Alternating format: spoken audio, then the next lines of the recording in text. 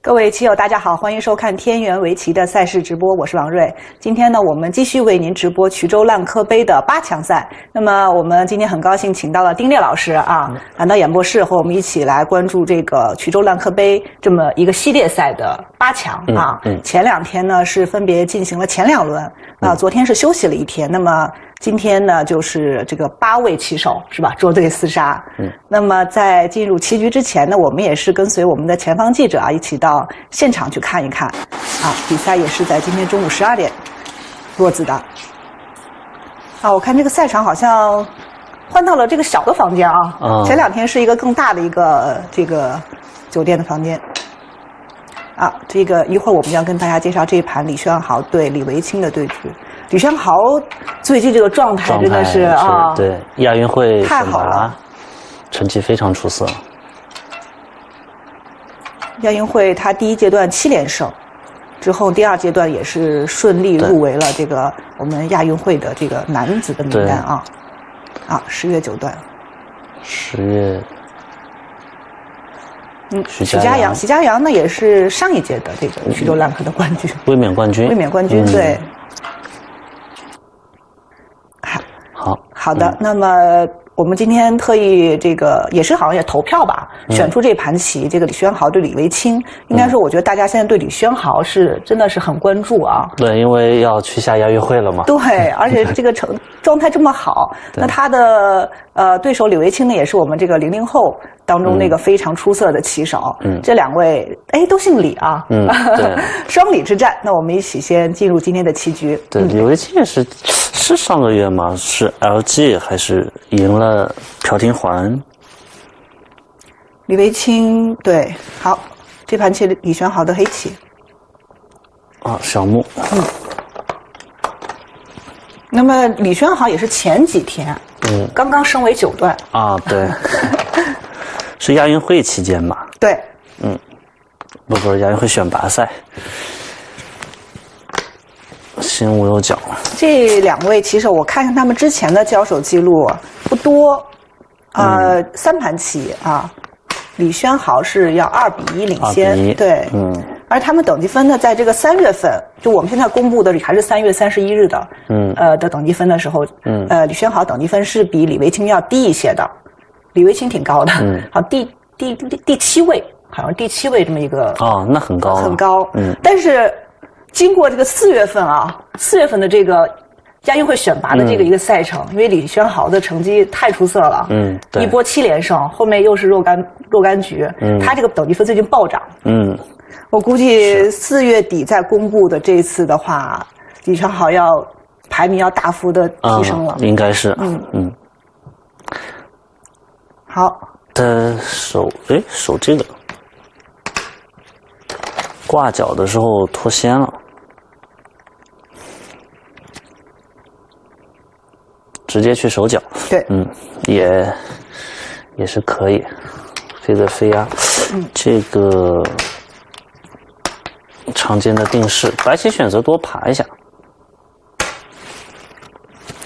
多爬一下的话，对脚上会稍微好一点。嗯，这样，但这样黑棋会更厚一些，也是有利有弊吧。如果不爬的话，要么就选择这种二路飞，是对吧？，以前我们都是跳出来，嗯对，但是 AI 说这个棋二路飞，嗯，因为它这样对这个脚上拖会好一点，对，防脱。嗯，二路飞，嗯那你说就不能跳吗？我觉得也 也不一定，对嗯也是可以下，其但是是胜率上来说，可能这个会飞高一点点，所以 AI 是作为飞是首选。是，所以你说像这种差不太多。对，都差不多。所以说，你说这种爬，就骑手还是根据自己觉得更好掌握的棋来选择嗯的。可能说爬一个比飞一个会降个零点几啊之类的。这个零点几 实实际上是微乎其微啊。对，但是他觉得这样更喜欢这样的一个棋形，对，这样的白棋呢也是很扎实。嗯，就时空会好一点。好，现在黑棋再挂过来。嗯挂过来，嗯，然后白棋再夹过来。对，其实也还原成一种，其实挺常见的一种棋形，只不过它的次序是稍微有些变换。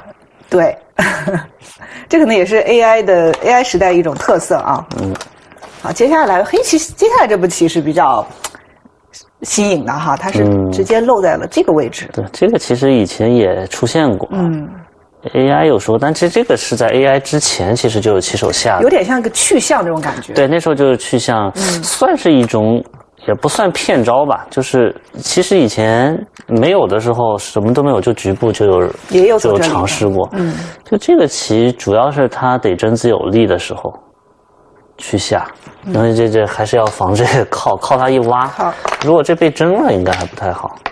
你是说这个争子是吧？嗯，对，这真子，这真掉还是有点大。那现在黑的真子有力嘛？真子有力为前提吧，这个大飞。所以大飞其实不怕这个靠下来。对不怕这个靠。然后以前我记得这大飞的意思就是，你首先你不能靠嘛，靠我挖。嗯那还有一种就是想到的下法是这个尖，尖的话呢，黑棋就去拆二。当然，我们抛开这配合不说啊，就看局部，就就觉得这个 它其实本来定式是这样的，它这个子放到这儿也是有它的好处吧，就是以后走起来它可能就不是退了，是挤上去。嗯它是防一个什么？他觉得比直接拆二，直接拆二你要顶我，对，顶的话那我只能长，那以后你逼过来，对吧？这如果看成这样的话，他现在这两手棋防住了你这地方的手段，你只能虎，你只能虎这个，嗯，你你就不能顶我了，你顶我这将来有扳过这两明显便宜了。所以是以前是这么想的，有一个去向就是走完其实想拆这个二，哦，这样的。这白棋呢也有一种应对。以前我记得说这棋面对黑棋大飞，白棋最好的下法就是不理它，脱先，对嗯，就脱先就好。因为脱先的话，黑棋下一手棋，大致是不是也是只能，这也就尖嘛，也就是尖了？嗯，尖你我就算长，我好像好像是说可以继续脱先，还挺好 就继续脱先。继续脱先。就对，比如说你大飞，我就不理你，我拆个二，你走我就再拆个二，就就这样，就都无所谓你这个。子的位置其实始终是对，就是你有点尖我就再不理你，你虎我就再不理你，我就要降低你这颗子的效率。，对对对，你有了这颗子，你就都就局部是它的价值就不是那么大了。这样的棋啊，就说如果白棋不理它，其实你这个位置离他其实比较远的，对。也没有对白棋这个星位造成任何压力，不像拖在这儿，对对对你不理的话，我对对它直接下一手可以呃非常紧凑，你离得远嘛，这个下一手就会相对来说没有那么紧凑。对，所以就以前说这特别简明，所以后来其实我们很早就知道这个，后面下的人也不多，是因为白棋其实不不搭理你，没事没事，嗯。不好走的地方就对，脱先。就不，跟你纠缠。但现在这个局面呢，它不一样啊，它这个棋因为这有个家，嗯、有个家呢，大飞，如果你不理我，那我也就是一个安定了的嘛。但是实际上是。话说回来，就算理了又怎样？你看 实战他是尖的在挤 和这个脱了连班，有点搞，其实啊，这个结果是一样的，只是个次序上面的是对呃略有区别。就是搞一下心情吧 搞一下心情。对，就是去向，嗯对，呃，实际上还是还原了，就是脱了班连班，然后白棋再班。说了那么多，后来又还原了。但还这个原是，哎，这是黑棋是李轩豪哈，嗯，如果李维清的话，我就说这有点调皮。嗯对，但是李轩豪现在，哎，李轩豪是九五年出生嗯，九五年出生，今年二十七27岁了，嗯对吧？啊，二十七岁了，在现在的这个棋坛当中，二十七岁可能都算老将吗不能算小将了，反正是。也不算老将，也不能算老将，中呃这个当打当打之年，对觉，还还可以。哎，拆一，嗯，这也是白棋为什么愿意跟着黑棋继续走的一个原因嘛。嗯，因为你这个你没有你还没有活干净是吧？对，大致还要花一手棋对。你，但你对，因为但是你拆一怎么说，你效率肯定不是说特别高的那种棋型，所以他愿意做这些交换，嗯。他觉得是还是有有所得的。嗯，接下来白棋这个悬点是在这儿。哎，对，走在这儿，嗯。嗯，这好像也是 AI 推荐的一个点。其实这个局部啊，如果就不看这边，嗯。单看这个局部，好像我看到，呃，夹击的时候，很多时候都是选、嗯很多很多走在这个一间架、高架的一个位置。因为一间高架对黑棋这棋形压迫感还是比较足的，嗯，因为你走低的话，黑棋棋形感觉下法就比较清楚，那种黑的棋形就很好。啊你将来这地方你都不太好走，嗯你，不太会往这种地方钻，因为自己棋形有点软。这个的话，以后这下法白棋无论是顶这个啊、顶这个或者尖，就这个棋形，我觉得黑棋还是有点薄的。嗯，哎，白棋黑棋如果自补的话，好像也没有好点，嗯是不是？不知 没法补吧？这没法补，就是像这样的话，效率就呃太低了啊。太低了如果说还是像刚才低的话，可以震，对现在再震不好走，现在震它其实是有点不安定的因素。所以这个呢是一直是呃相对来说是个好点，嗯啊，，就走反家的高位，也利用也有利于自己的出头嘛，就对外面好一点。因为你摆一个拆二，这地方下面的眼位也不足以做活，嗯，反正也局部做不出两只眼，干脆就是以攻为守。对舍弃一下下方的眼位，外面出头畅一些，好一点。如果黑棋走这里，白棋总是不怕的啊，是吧？嗯，看上去 应该不是不怕然后不是很高，还有一些棋形都很难受。对，嗯，就算不拱断，你将来顶一顶，这效率黑的也很奇怪。好，实战呢，黑棋也没有在这个嗯下方走，它是从上面来对，都是想把棋走在外面嘛。点过来，嗯，点白棋也没有简单的挡住。对。如果挡的话，这个争子，争子是白棋真子白的有利，它不是真子问题。下一手是压过来，还是会不会如你所现在飞？再来飞是吧？再来飞倒是也有可能。把你点中我再飞，这就是本来刚才你摆这个，我第一杆白棋就往外走跳出去嗯了，但点完一下，这显然是跳不动了，就被扳断受不了。但这个地方你补断好像有点软，是白棋棋形有点软，所以不是很肯，就感觉这个有点被牵着鼻子走。第一感是不愿意跟着对手来行棋的，啊，他是对这感觉是一个好行的感觉，因为这地方走多了，黑棋这也显得越来越薄。黑的自身其实并没有想象中那么厚吧？嗯，黑棋也要小心啊。嗯，黑棋现在是冲完拐，冲来拐开，先把这边的棋形做好，这边还是这个比较厚厚实。对，嗯，但白棋小尖，嗯，我觉得这串处理白棋棋形还是挺不错的。嗯，贴，嗯，白棋尖完一长，这也是一个组合拳，既出了头，又获得了实地，然后又将来这地方直接就度过了一下一手，所以其实白棋只走了一手棋，这一手棋的效率还是很高的，对，一子多用。黑棋就把这个吃了，嗯，这个 很扎实。嗯，他可能觉得被白棋顶了班还是有点难受，这棋形，那些顶了班确实有点不开心，我只能唬住，那被打一下，然后白棋再唬一个，吃掉呢，一方面自己防这个挺顶大的，同时是个逆收啊。对，同时对白棋其实也是一种威胁。那本身这目数就就是个逆收，很大，因为白棋顶了扳完打一下就唬，你还得争我。对，这白棋就变得很厚啊，而且主要目数这一下十几目至少是有的，还是很有心情来这个花一手棋的。很大很厚实，嗯。嗯，这样子的话，这白棋和黑棋呢，呃，有点对跑的感觉，是吧？对白棋白棋不能跑了，再跑的话有点撞墙，因为黑棋这已经很厚，往这儿跑，这方向不是不是很对，所以白棋选择直接度过，嗯，这也很简单，这个我估计白棋贴的时候就想好了，嗯，我再看他度过的话，贴一下便宜不便宜？他是觉得挤过完之后，这地方将来有一个断点什么的，如果不贴，是不是这颗子将来如果被吃，稍微还有点重？嗯，其实这个就是白棋的自己的判断啊，嗯是单挤好还是对这边交换一手因？为有点搞不清，其实直接挤过也可以，因为贴一下的话呢，他确实，他也争到了一个先手，但是黑棋这个虎一个棋形显得非常的好。如果你单挤黑的，好像一手棋走不了那么好吧？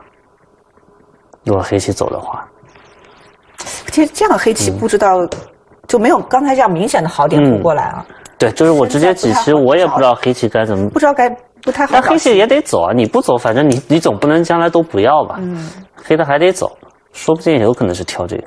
如果还这样的话，就贴一个，那贴就不便宜了对，明显显得有点亏损。所以我也是在想，着贴一下到底便宜不便宜对，这比较微妙的一个、嗯一个地方啊，就这贴一下到底便不便宜？凑了黑棋一个虎头，嗯当然这里的差别不是那么大，嗯是吧？对，但他这样获得宝贵的先手。对，嗯像这样整体上来看，我觉得白棋还是可以接受的呀。至于黑棋这棋，虽然吃了，但是总的来说花的手数其实挺多的。嗯，呃，我们手割一下嘛，就等于这样，这两个拿掉，这两个拿掉，嗯，这样，就等于黑棋这棋飞完之后走了个拆一，然后又拆了个二，然后这边又尖了一下，是吧？对，又又兼补了一个嘛。当然了，这两手白的可能会损一点点，其实损的真的不多。这两手还好，这手可能多一点。损，但它也有点用，损的其实很有限。我所以整个来说，我觉得布局到这儿的话，白棋还是挺好的。是吧？速度比较快。嗯，而且这个局面看上去天幕的负担还是压力很大的，嗯因为黑棋感觉白棋空捞的挺多的，白棋时空是一点不比黑棋少，对而且白棋也很厚，嗯，没什么大问题。嗯，接下来很积极，就说白棋依然挑积极的招法在下啊。其实就这个局面，这拆拆二这个，因为我刚才如果我下这白棋的话，我会觉得这棋白棋其实是时控不错的，嗯，挑简单的下，但是那年轻人就比较有气势，这个还是很有气势，就是要挑积极的下，不怕战斗。嗯，这棋说白了还是黑棋要更厚一些，发起战斗，我是觉得黑棋愿意看见，但是李维清还是很有自信啊，我就是对。觉得下。迎难而上。嗯。要是我这种求稳的，我觉得拆拆二，我就觉得其实其实求稳不见得不好，是吧？就主要我是觉得这个局面你求稳是合理的，是，嗯你也是要根据当前的形势啊选择下法。这个黑的就没法儿。你说他他这个就是一定要挑起战斗，嗯，你不想战斗，你退一个不就完了吗？对吧？他他这个觉得，这个是我们可能觉得比较简单的一个看得懂的一个下法，嗯这这也是双方特别稳健的对定型。比较简明的一个定型。对对对，但他这个就一定要挑起战斗，这就是非常积极。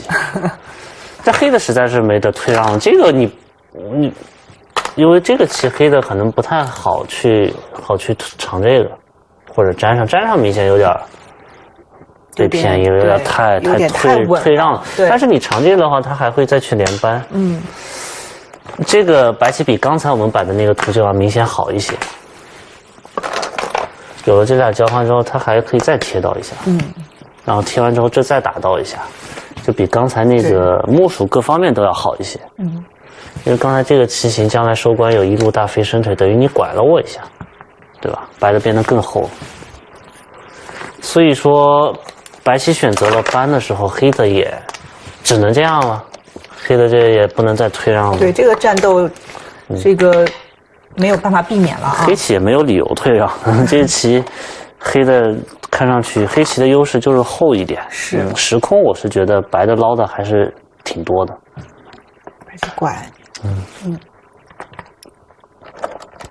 果然在爬。对，这好像挺必然的。嗯，果然怕黑的长对。，因为这一代的黑棋也没办法，黑不能再退了，被便宜了。再退的话，白的是再退是再退是不是已经被妈妈，这是黑棋吃白棋，但是这个棋呢，就是黑棋吃了白棋，但肯定不行，亏了。这白棋弃子嘛，嗯留着让你爬，爬到这儿我可以可以扳住，然后你后手吃，我外面再补一个。这个再爬，它只能退。这样的话，黑棋快一气。对，黑的快一气，嗯，但是就白棋的一个弃子。黑棋虽然吃，但是它是收起吃，本身没长几目棋，将来收完的话，这块空大概十五目，本来你五有角十目，你就长了五目棋。嗯，五目棋的话，你这可能也打我不便宜，可能要么还直接管，断两下也未见得便宜。如果说就算直接补吧，像这样，这白的还是很舒服的。白的就是弃子，对，嗯就弃了就行。所以这里呢，黑棋干脆黑棋去吃吃的那些木薯还没有这个头这个这一巴掌这这个价值大，这个头很挺拔，长出来这个价值还是逆收。这也是一个呃实战的常形，是吧？嗯，就是白棋搬这个的时候，双方对于这个下法应该都是清楚的。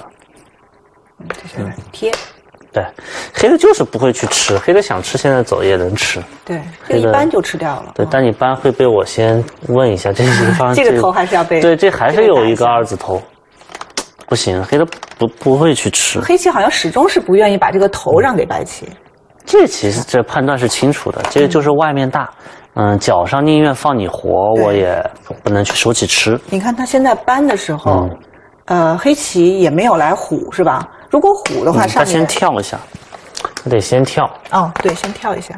先跳一下，因为这有冲断嘛，嗯黑的这跳一下不会亏，然后再搬。再搬，嗯对，就搬的时候，黑棋如果虎也是一样，上面被白棋就是这这个搬过来，因为角里现在是打结火，就是其实这个东西双方就判断是准确，没有把这看特别重要。就这个脑袋的价值其实比局部的死活更大。对，所以双方他都没有来，黑，棋就没有来要吃角，他接下来黑棋是选择的搬，搬是吧是我不知道为什么不长。对这个长和搬第一杆是长，第一杆是长，是吧？？第一杆这个形状是长，嗯，扳的话这个形状扳被打完一粘，主要你还得补，还得走，还得粘嘛。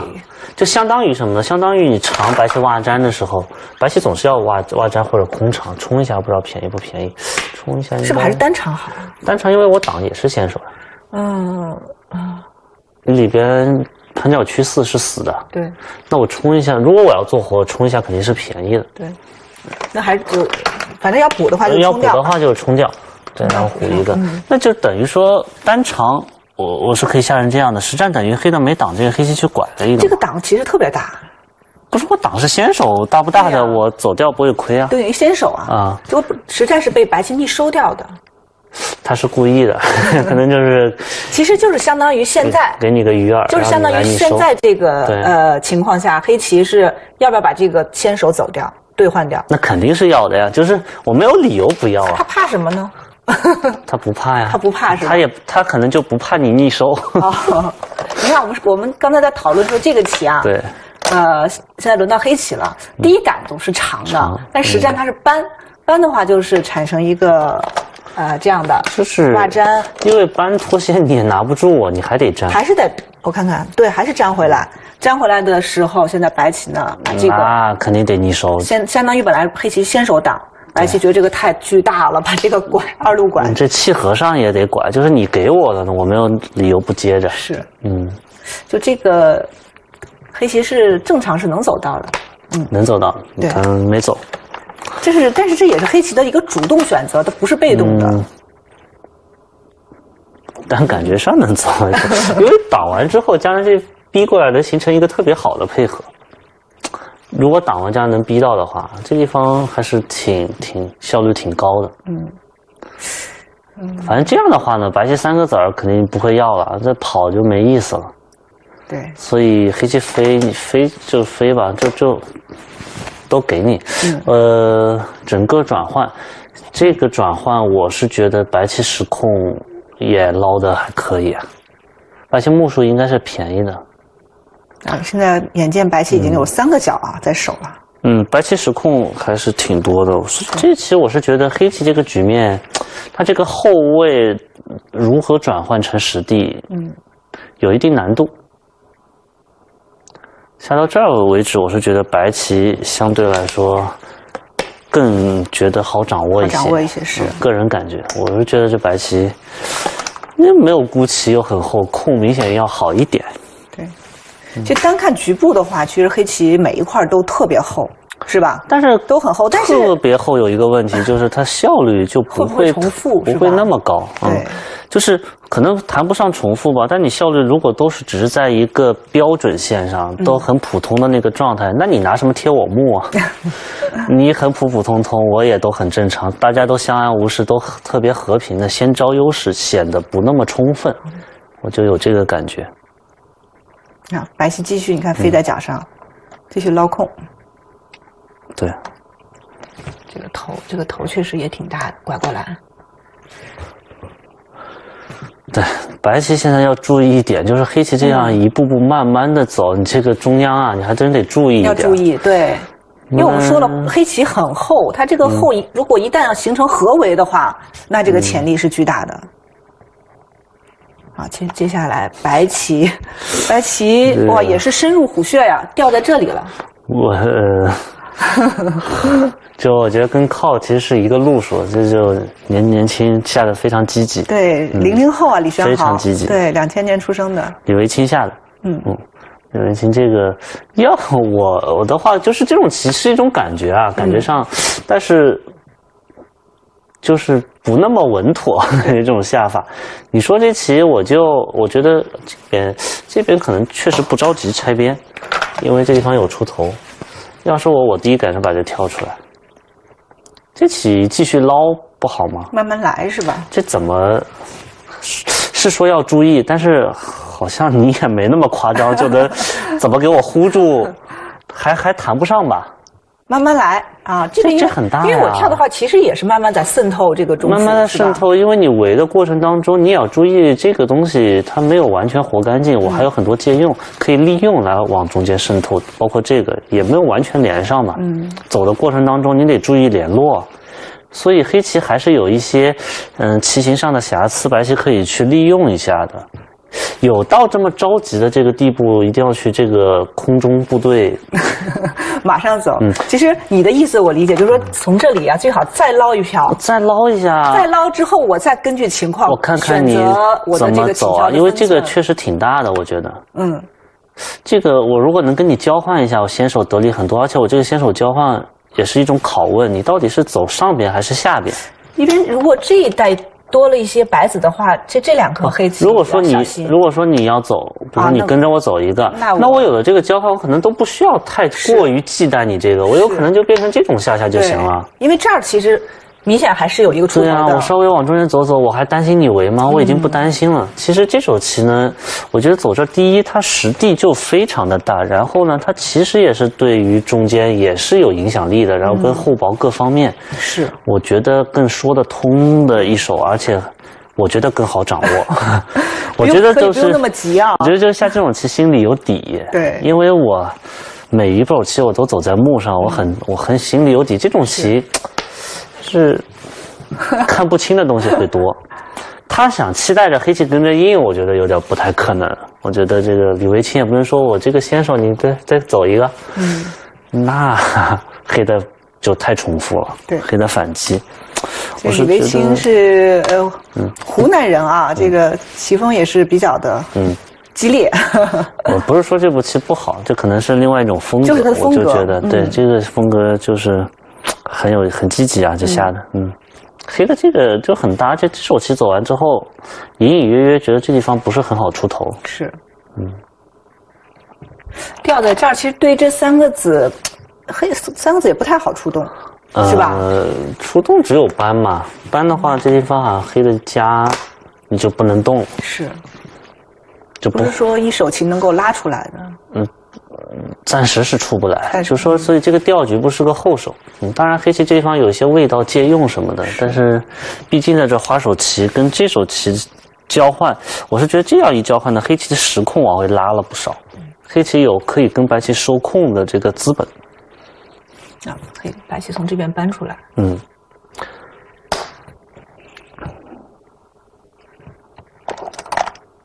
因为他不搬的话，黑的往这跳是不是有先手味道？这不走有靠断，嗯，所以如果你跟着我走的话，先手封住了。那黑的为什么不能先跳？我先跳，跳能不能跳到？你脱先，跳这个，我说这这太大了。这靠断是什么？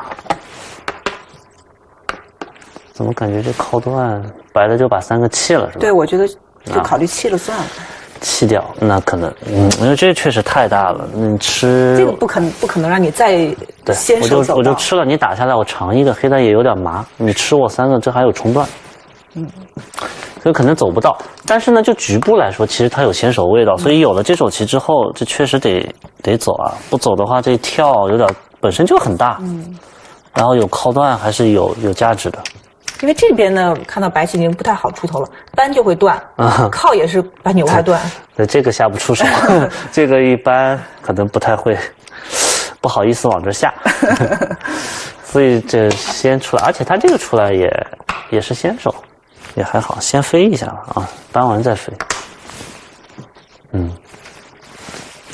但看到这边多几个子的话，总觉得这个子有点冒进，对有点危 险，总觉得为他担心。哎，他是挡挡住，嗯，这不能冲断去吃，冲断气太紧了，不便宜。再压，然后一飞，嗯，飞飞的棋形也还可以，嗯，不过好在现在白棋呢争到一个先手，嗯，争到先手这个子呢还是能够该补一补了。补一补了。怎么补？你看白棋是跳在这儿，还挨得很近哈，最积极的步伐，还是离他离黑棋这个后势比较近。他这个确实呃离得比较近，但是他考虑的是下一手，这样我就可以有一个完整的封锁。你说离远一点，我是觉得远一点可能会好一些，嗯但远一点这地方的话，下一手就也不太好找点不，不是很好的一种棋形了。你如果说刚才走到这儿是一飞一个，对，一步棋就联络了。走到这里，有点怪。这儿的话明显有个穿象眼，对是吧？对这里的话又稍微松了一点，就反而效率显得有点啊，所以他也有他自己的考虑。他有后续手段，嗯黑棋是吊在这儿，嗯，就把它当成一种打入看嘛。战斗，嗯，白棋是搬搬，那搬这个就没什么用，有了这个跳也没什么用，嗯，跑是跑不了的，就是是个硬手。这样的话，确定了以后有种种先手皆用，嗯，白的比想象中要厚一些，这里呢一加白其实动不了了，粘我就断打，粘粘这边我一挖。见合了。见合。接下来你看这盘棋啊，白棋好像一直都是积极求战的，现在来点，嗯，那点的话不能指望黑棋再来补啊，它一定是反击的。不能不能粘上嘛。黑的不是反击啊，黑的肯定是要脱先的。这个反击我觉得倒要中计了，就是如果你跟着我走啊，白棋这其实是看成一种棋子整形。嗯，这个如果跟着走，白棋的目的达到了，啊、它是一种行棋的调子。嗯、你不走呢，白棋确实也是，它也是一种就看成一种出头方式吧，可能就比飞一个可能要更积极一点，它就当自己出了个头。这这个倒是一种一种行棋的调子，我觉得倒是没问题。嗯好尖尖顶，我主要这个局面呢，就属于白棋确实花了一些成本去抵消黑棋后势的潜力，但是呢，黑棋也是趁机把这个实地的差距给拉回来了。我觉得现在双方完全可以在实地上其实是挺均衡的了。相当于这中间两手棋，黑棋呢是这边拆了一个，嗯这边又飞过来，对这里呢是多了一些哈，嗯，长了拆了飞。了一个，黑的还是先手打入嘛。嗯、等于说白棋是消掉黑棋的潜力，黑棋是转换成了把潜力其实已经转换成了实地。嗯，反正我是白棋，我可能不会选这个策略，我可能还会继续捞。如果从实地这角度来说，现在嗯是这个差距在现在应该挺均衡的，对感觉在缩，小啊。感觉上黑棋的失控也也不少了。嗯，好，接下来黑棋白棋下一步，白棋是冲下来，这个我觉得可能是，是不是之前的下法积极的过头了，有点是 有点上头了。这个我感觉是一个呃没有这个踩刹车是吧？是个低级失误吧，或者他没有反应过来，黑的这棋可以反击吗？他这个期待着黑棋挡住，他期待黑棋挡住，然后他可能就粘上。嗯，这个黑棋就很难受了，因为这地方有个断完吃嘛，你得补，你怎么补极其难受。嗯，就是你如果补在外面，那这个白棋顶这个还是先手，它可以断了顶打你一下。如果你说补在这里边，这地方还有跑，将来就说这颗子如果他走这还有个跑，对，而且本身补里边效率又低，所以这个黑的就很难受。这也是白棋的一个预想图，是但是他可能这个我觉得不是一个很难的东西，他真的忽略了这一段这这地方怎么跟黑棋战斗啊？这个我真不知道这个如何。他肯定是没看见，如果看见的话，不可能有任何一种可能白的这个地方能战得过黑棋。这个地方白棋两个字好像已经没法动了。比如说我要啊，强行出头的话，强行出头，咱不说这个局部，你那边已经炸了，这块还没活。然后这地方你跑，我吃这个，也就是你跑出来整体也是块鼓起，什么时候被我一拐出不了头，局部就是死的，那块局部也快死了，而且这这个被拔了，已经没法看了。这个确实是没办法，这个。这是比如我你那块都快死了，你看，你再脱先真的，嗯，这个问题比较严重。你看，顶多说这都没有用的他就吃过来。而且你这个走完之后，你又带来一个新的问题，哎你这边被分断了，这边又死了。本来啊，本来这里是可以对是呃顶过的，我没有这个子，这边黑棋是分不断白棋的，白棋是过着的。如果这颗子，其实我们也可以把这颗子当先手当，先手了。嗯这个子当先手，你你这这这这这，那这个子先手的话，这个子其实对价值就没有那么大。就是这个子当先手，你这个冲，你这个想想，这是极其过分。那这个确实是有点 过了啊，太上头了。就是勺子，就是勺子。然后一断，嗯这个不不好办了。白棋呢，算了，回头了。那 但是你看看这个，我们看一下白棋的损失啊，嗯被黑棋打了，粘在外边补棋，这就已经死了。这等于这个 不能说停一手，也有半手。嗯，我们换个次序来看吧。嗯这这这这东西，相当于本来这个棋形，你说如果该黑棋下，黑棋顶你一下不亏吧？黑棋顶完往这走一个，这就肯定也是一手棋价值。嗯，你这时候你你靠退我两下，肯定是大俗手，对，里和外的交换。大恶手长了一目棋，把黑棋变厚，然后来这掰腕一冲，对方一看，嗯后手后手死，后手死。对，这个是一个我觉得算是一个，我觉得算这个肯定一个低级失误吧。低级失他就是没看见，这不可能说，那这个嗯不太应该。我觉得李维清来说的话，对，像这样的等级棋手，不太这个等级分但是这这个其实我觉得有点预兆，就之前他的下法其实有点这都。特别的求战是吧？很猛，很猛，就撑的有点过，然后就是关键这个时候他还是以一往无前的在冲击黑棋，嗯真的没必要。我觉得下的稍微没那么合理吧，嗯，那接下来对对白棋来说就有点现在不好办啊。这个白棋现在的问题是什么呢？他他空不够了。他这个走了个后手死之后，黑棋这空这地方长了好多，嗯，白的什么都没有，黑就正常下下去，白棋的空可能已经不太够了。然后呢，这棋又是黑棋明显厚，进入到职业棋手最不喜欢的一个局面，控不够，棋还薄。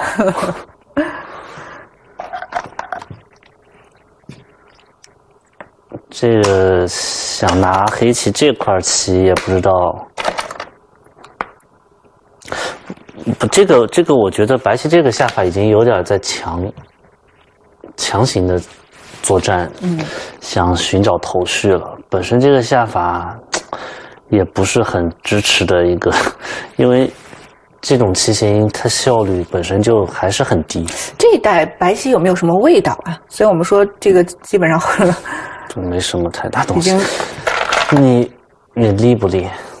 直接拐的话，黑的是得度过。嗯，打的话，直接就被一气吃了，滚包就滚死了。嗯，也没什么太大的味道。主要气也挤呢。嗯，如果你立掉这一下，嗯，立我得挡，对，立得挡。嗯，立得挡，然后拐出来，你就挡住你好像就行。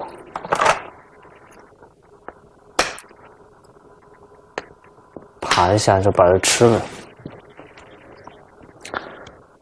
好像黑的漆就够了吧？只能粘这个挡住。嗯怕不怕这下？嗯主要吃这个对这边也有伤害。这里边的话，你你你团这个，我就我就粘上，是不是就行？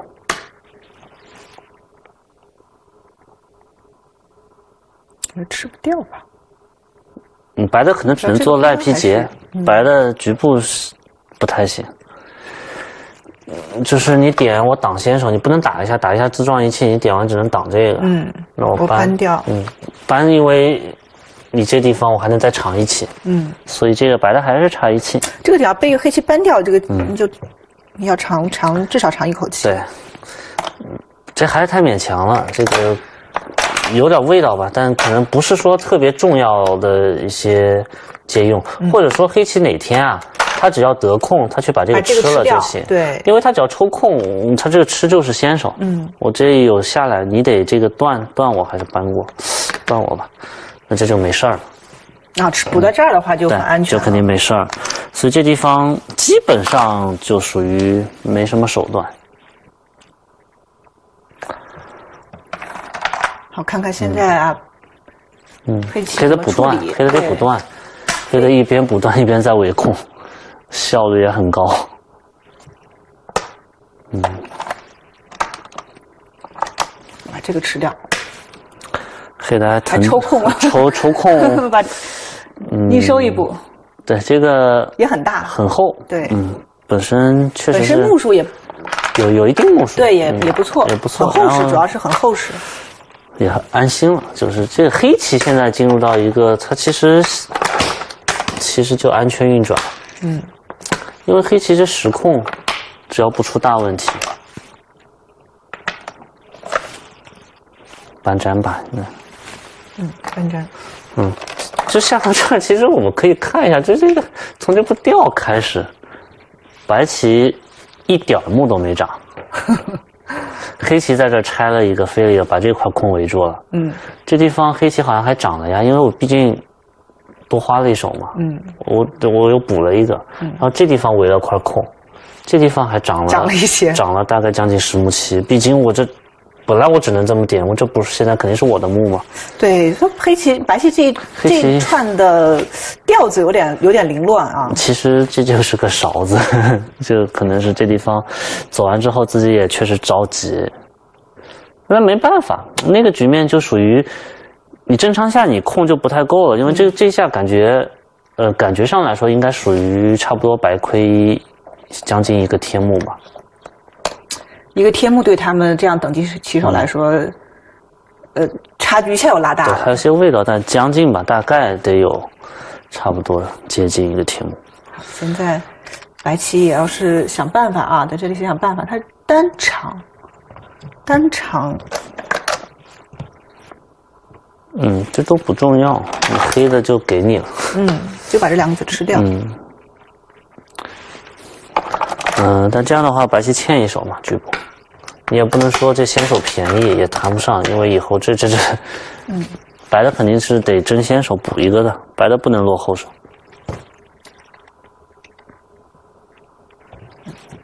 三点，这就试探一下。这也不是试探，他就是他为了目数已经不顾一切了，一切都是以目数为准。它它这个转换的话，它目数是便宜的。嗯，这样这样的话，黑棋把这个吃了。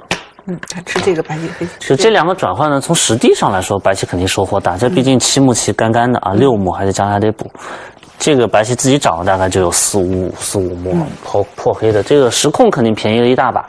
但这个下完呢，又有一个问题，现在的厚薄又转回来了，啊，黑棋棋又是超级厚。对黑棋吃了这三个子，这两个子也补干净了。现在黑棋全盘，这里也吃过来了是吧？巨厚，黑棋是巨厚巨厚，白棋只能说，因为他不这么下，他控就已经不够了。对他只能说这么下完，他是不是还得虎这个呀？这必须得虎呀，对吧？他就必须得虎这个，这是被打漏了不行。就我们现在可以来点一下这个目，时空如果差不多的话，白棋可能就已经很难办。对，先看看先看看时控，十三，这块二十五目，嗯。嗯，还长了些，三十五。目，大概白的有接近五十五吧，五十三、五十四，大概这样，五十五好，这左右。是黑棋，啊，时空可能白的还要多一些，十二目，这十二目至少吧，二十二，嗯十二目二十四，嗯，哦，这还有六目，三十，三八四。十四，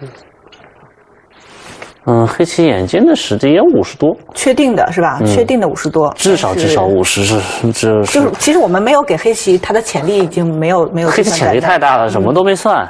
我这地方虎一个，这这目数不是哗啦啦的在涨吗？确定的目数，确定的目五十。那么白棋的刚才我们点的将近嗯五十三四目，其实是黑棋就潜力看起来弄个十目棋，对黑白白棋其实能点的都点了，它的接下来可能是潜力是很少的，没潜力而且自身呢是有很多嗯。很薄的地方，可能是负的 这个目数。我甚至觉得黑棋就什么都不干，就把这一靠，对，这一下子可能就时空就拉回来了。这样的棋就是你就是过几个回合嗯图之后，就发现黑棋目数会暴增。黑棋就很顺其自然断地在长目这方点你一点，这这这这这这还有断吗？这死活都是个问题，就这里是是有一个断点。我看黑棋啊，太厚了，黑。棋怎么样？当然了，这个厚呢，也要给它转换成这个盛世啊，怎么安全运转？它是先贴，嗯，双先灭眼，不然被你拐一个，这是眼位。嗯嗯，他贴一下，其实白棋眼位也受损，啊，马上断上了。这是要杀。刚才也这是要杀不不来这些，我这是死不来虚活，的了。死活真的是有问题，或者说他也是根据这个也方便定型，边杀边定型，对也是一种策略。因为断嘛，反正这个本身是没什么目，本身是没什么目，但是这个杀着看啊，杀杀看。我这个说说能活，其实也真的这个包围圈儿，因为黑棋这边是不是黑的太厚了，这儿也很厚，黑的太厚了。嗯，像这种鹧鸪的时候，你找不到对方棋形一点点瑕疵，只是自己一门心思搭眼位的话，是很累的一件事情。嗯我们所说的腾挪，最好的都是要利用到对手的棋形嘛，对，比如说你是靠一靠、碰一碰啊，这去找些借用。这个但是这个局面哪儿也碰不着，太厚了。只能自己搭房子，就比较干。对，这个铁板一块儿就面对、嗯面对着黑棋，啊，黑棋点进来。这个点，我感觉白棋这这怎么弄啊？我觉得白棋想做活的话，如果只为了做活，我感觉只能走这个。嗯，他走这个，他又考虑到这么走可能是受不了棋他，可能就白黑棋其实也不见得一定要把你吃掉，对他就外面粘粘上就没必要了，粘上也不长眼啊。那他应该是继续继续做活这种我是觉得做活只能这种白眼。苦哈哈的自己去码眼位，黑棋你通过攻击什么长了就算了。对，他这个还是也是因为形势拼的一种下法，但说句实话，走这个我觉得死亡概率肯定又大了两成。这个点进来，我真不知道怎么活。这个点，它是虽然能把这个子吃掉，是吧？这个子是能吃掉的，啊，这么 对，它这个子能吃掉，但是 怪怪的它只有一只眼啊 吃掉这只有一只眼个是个丁四啊，我看看，哎，黑棋是怎么啊？它是冲，我黑棋也是挺挺狠的，它就这么来杀，这就是要杀棋的一个下法呀！这个真的是我感觉啊，他也是黑棋，多多大仇啊！这是这是你看这么吃，他呢也是先这冲两下也是目数有损哈，但是不不，他觉得算轻了，他他觉得这个东西，这东西如果还吃不掉的话，棋没法下了。他说，我觉得下手去往这儿，啊，他就粘上，粘上他就觉得这棋必死。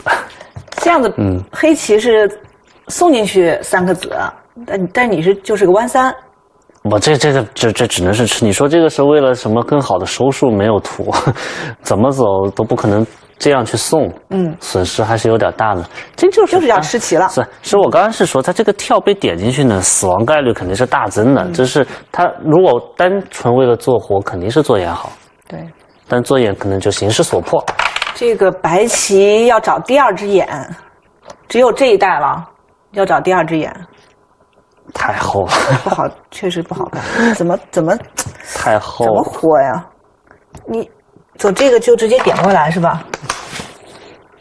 点不点你都没有意思，我我都不不搭理你，你也做不出眼。你走我就挤你一个，这都是假眼，就是你你冲我就退好了。嗯，主要是这个不是真眼，这都是假的，一挤就行了。你这里面我再靠进来是吧？嗯对，这个连不回去，太厚了，太厚了。不行，不行啊！我看实战它是贴这个，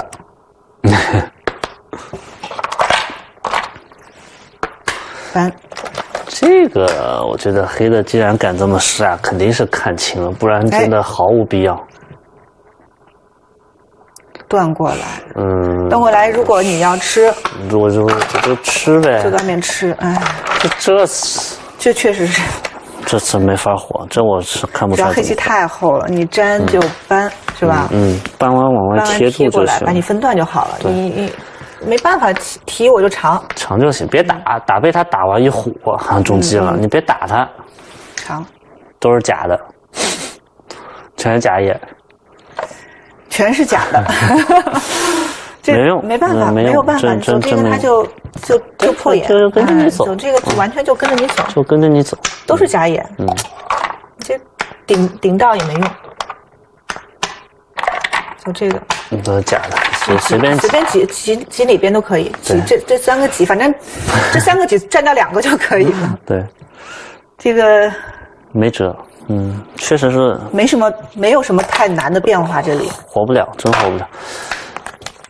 黑的敢这么下，肯定是有把握的，不然轻易不敢这么下。对，这个还是算清楚了。就这种冲啊，嗯冲，呃，本身是目数是损的，但但是但是他的目标很明确，就是要吃棋，而且从结果来看，这个这是最后一手，本局最后一手，一百四十七手，没了。对。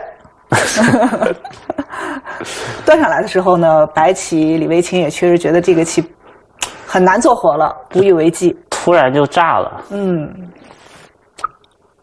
就突然之间就从断开始，从这个断开始，黑棋其实它不一定要吃掉你，我觉得这里是吧？就是看怎么怎么定型。嗯，就是对，就是你如果你如果说特别那个猥琐的这个 这种如果就是虎打吃在了做眼，啊，应该是 能活就算了，对吧？你就给我个面子，我通过攻击刮刮你一大圈，你两个洞洞眼儿做活，嗯，我再去黑棋再去抢到这个，我觉得这个特别大，抢到这个这个靠太大了，靠你不能搬，你只能顶我一下。将来我这地方贴一个先手，我搬一个，一顿搜刮。嗯，我们刚才之前这块被如果被白棋先手尖到这个地方，白棋十几目，嗯，可能刮的只剩五六目了，黑的这地方大概长了七八目，这应该是逆收十目朝上至少。哦就这里黑棋呢，先手攻击之后先，攻击之后围一点儿，然后再走个逆收十几目就够了，肯定就够了。也比较稳，是吧？嗯黑棋觉得形势也是比较好掌控的那。也是边走边看了，这个万一能杀就就杀呗。是这个跳，说实话真的挺过分。这个跳被点进来，我我刚我没看这后面的下法，我是觉得白棋死亡概率机子。和黑白棋呃黑棋实战的下法其实挺简明的，是吧？这一串虽然是黑的想杀比较比较损，对但是结果来看，白棋也没有什么办法呀，一本道打吃到这儿，魔术损归损，但它损完之后，它其实有一个目标，就是把你这个空间给你全给走没了呀。你没有做眼空间了，从冲开始，这就完全命令型的，到这一步为止，白棋没有什么好的办法。是这个，我觉得这这还这这个勺子太猛了，可能，我是觉得他这个黑棋这盘棋下的发挥还是很不错的啊，这个这个走法很精准。嗯，不，李轩豪还是一如既往维持了自己的好的状态。这个近一个月来，确实可能李维清的话，呃，因为下这个烂科杯嘛，之前也一段时间没有比赛，没有比赛嘛，可能不像李轩豪这个练的这么熟练。对，李 轩豪，这个李轩豪最近真的是今年是应该说是一匹，能叫黑马吗？其实他本身就很强。李宣豪，呃，你看零九五年出生的，他是十四岁，嗯，就开始下围甲了，代表重庆队，他就是。重庆本地棋手哈，代表重庆队一直，我印象中好像没有没有变换过这个队伍。嗯，之前刚开始14岁是开始就打替补，对，十刚开四岁就始开始是鼓励谢赫、王希他们。那个时候重庆那时候那时候李轩豪跟那个杨鼎新是轮换着上，啊，两个人是还要下选拔呢。对，就是他们先下训练期选拔赛，谁赢了谁能正式上场。因为那时候哦真的还小，上场之前先上场之前两人得比。呃，李轩豪九五年，呃，杨杨鼎新九八年，那是很小啊。对他们两年，两个好像定段是差不多的，是一年的还是？有可能，因为隔一年。因为这个杨鼎新定段特别早，我印象中他俩是一起签的，重新是一起的，他俩是也是一个良性竞争，当时是竞争上岗。对，后来就是通过几年磨练呢，双双都变成了主力了嘛。对，嗯，是。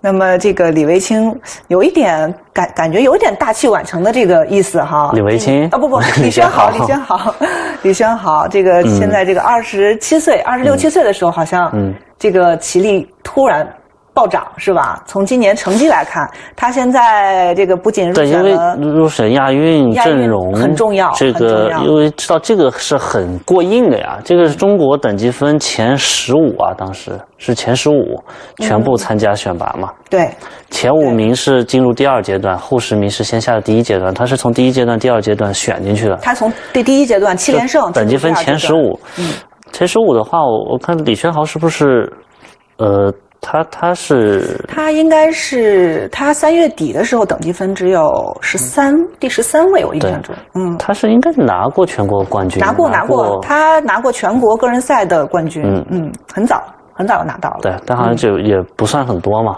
对那就是，但今年这个当然李轩豪一直都是属于这个在这个强手的这个行列里啊，嗯都是一线强手的这个行列，但是今年的成绩是尤为突出，嗯是吧？也是让大家对他这个。